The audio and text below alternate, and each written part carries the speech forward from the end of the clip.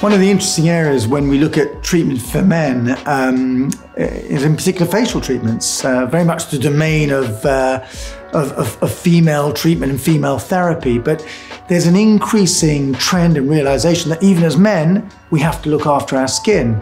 And the HydraFacial is um, a really enjoyable six step medical grade facial, which is all about delivering nutrients, uh, cleansing the skin, just basically trying to look after ourselves just as we look after our bodies.